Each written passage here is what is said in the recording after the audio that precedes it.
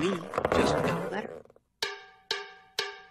We just got a letter. We just got a letter. We just got a letter. Wonder who it's from. It's a letter from our friends. I was at a wine tasting with my cousin Ernesto, which was mainly mm. reds, and, and you know I don't love reds, man. You know, but there was a rosé that saved the day. It was delightful. And he tells me about this girl Emily that we used to kick it with. It was actually the first pair of boobs that I ever touched. It's the wrong details. It's the wrong. It has nothing to do with the story. Go. So, uh, he tells me that she's working as a housekeeper now, right?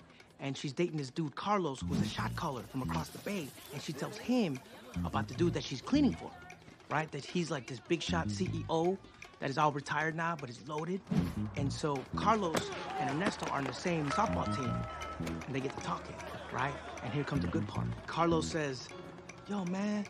This guy's got a big ass safe just sitting in the basement, just chilling. Of course, Ernesto comes to me because he knows I got mad skills. Of course, I ask him, Did Emily tell Carlos to tell you to get to me what kind of safe it was? And he says, Nah, dog. All she said is that it's like super legit and whatever's in it, it's gotta be good. Bye.